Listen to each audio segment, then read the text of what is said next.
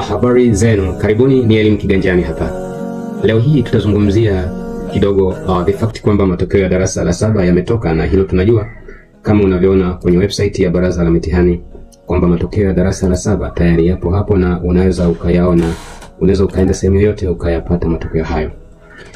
Sasa naamini baadhi yetu, baadhi ya wazazi eh, mshajua watoto wenu wanaenda wapi na tayari sasa hivi mnawaandaa watoto hawa kuwa tayari kabisa kupa, uh, kukabiliana na elimu ya sekondari kidato cha kwanza mwakani 2024. Lakini baadhi ya wazazi wanasubiria selection za shule za serikali kwa form 1 uh, 2024. Ni fakti kwamba selection za form 1 kwa mwaka 2024 eh, hazijatoka. Tunatarajia kwamba zitatoka hivi karibuni. Ambacho ni muhimu, ambacho ni kwa hakika watoto hawa wote bila kujali kwamba wataenda shule za uh, binafsi private schools au wataenda shule za serikali, lakini wataanza safari yao ya miaka minne tarehe nane uh, mwezi wa kwanza elfu mbili na ishirini na nne. Hii ni tarehe ambayo shule zote zitafunguliwa na vijana wataanza safari yao ya miaka minne tarehe hiyo ambayo tumeitaja hapo. Sasa miaka minne mbeleni inawasubiria vijana hawa na miaka hii minne ni kipindi kirefu ambacho kinahitaji maandalizi. Kwa hiyo mzazi, mlezi e, na wadau wote lazima tuwasaidie vijana hawa wawe tayari kuianza safari hii ya miaka minne wakiwa wamejiandaa mentally, physically, psychologically na kadhalika. Kwa cha kufanya ni nini? Tuwasaidie watoto hawa katika maeneo makuu matatu. Eneo la kwanza, lugha ya kufundishia, na hasa kwa vijana ambao wamesoma shule za serikali msingi. Vijana hao wanakuja kuanza elimu ya sekondari, masomo yote yakiwa ni Kiingereza. Kwa katika kipindi hiki ambacho uh, tunasubiria kujua, na kwa wale ambao wanajua tayari, ni muhimu kuwasaidia watoto hawa kufundishwa lugha ya Kiingereza ili wawe tayari kukabiliana na masomo ya elimu ya sekondari wakiwa wana basics, wakiwa wana msingi wa masomo hayo, kwa maana kwamba lugha ya kufundishia na niseme tu kwamba vijana wengi wanashindwa elimu ya sekondari kwa sababu ya lugha.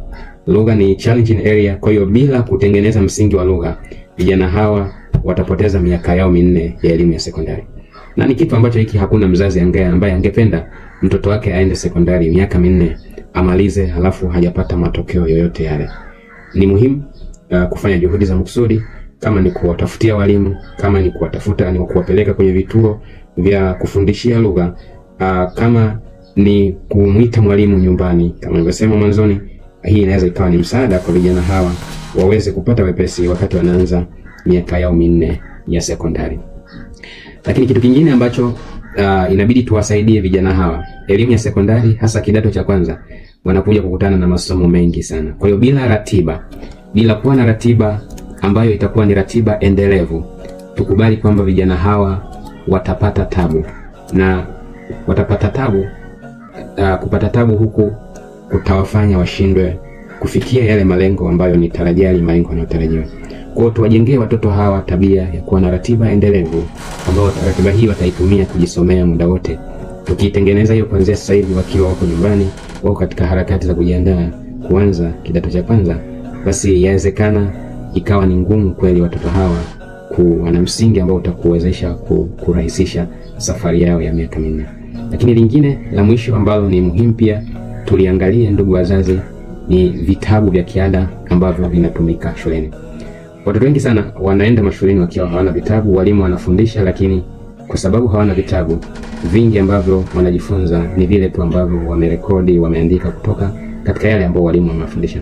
Lakini watoto wakijengewa tabia ya kuwa na vitabu, vitabu ambavyo vitawasaidia uh, kufuatilia kwa karibu na kuingia ndani zaidi juu ya vile ambavyo wamefundishwa, basi huu utakuwa ni msingi mwingine muhimu ambao utatoa wepesi katika elimu yao hii ya miaka minne. Tuwasaidie vijana hawa kuanza safari hii kwa wepesi, ili miaka minne iwe ni miaka ya kujifunza, iwe ni miaka ya kukua, iwe ni miaka ya kutengeneza individuals ambao watakuwa tayari kuserve nchi yao, watakuwa tayari kulitumikia taifa lao. Kama ndo mara kwanza kuwa hapa, usahau kusubscribe ili uweze kupata update juu ya video nyingine zinazokuja. Mpaka muda mwingine, na nawatakia siku njema.